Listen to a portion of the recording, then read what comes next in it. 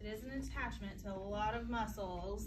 However, good. Goniometer, right? You're using that to line up a lot of your, so your knee measurements, okay? So I'm gonna have you lay down. All right, so for the greater trochanter, I'm sorry if you guys can't see me, but you're gonna feel in here and you're gonna know that you're on it by having them rotate their leg in and out. And then you can feel it gliding under your finger. Okay, so that's how you know that you're on it. Then we have the? Okay, medial and lateral epicondyles. Where are those?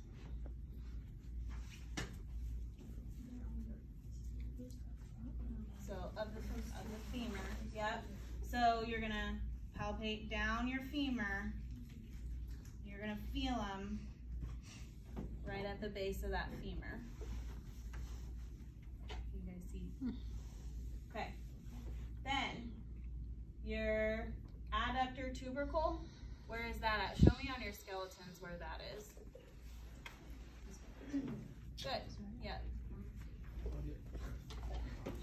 You, got Well, it's a, um, right here. yeah. Oh, that's right. Yeah. Let me. I was testing you this time. All right, skeleton, okay, right there on your skeleton, okay?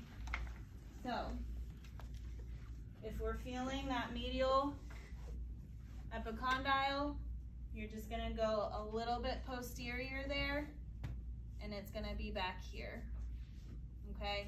And again, it's gonna be kind of hard to actually feel that specifically, but just know where it's at and where to find it okay?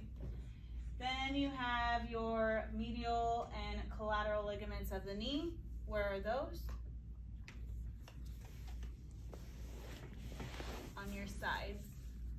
Okay, so you have your medial one. So I'm gonna have her bend her knee and you can feel it where her knee joint is on the sides there and in here. So if you're not sure if you're in the joint space, so straighten and bend your knee and you're gonna feel the space open up so you know that you're in the joint space there.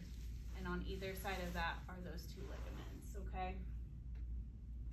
Alrighty, any questions about that?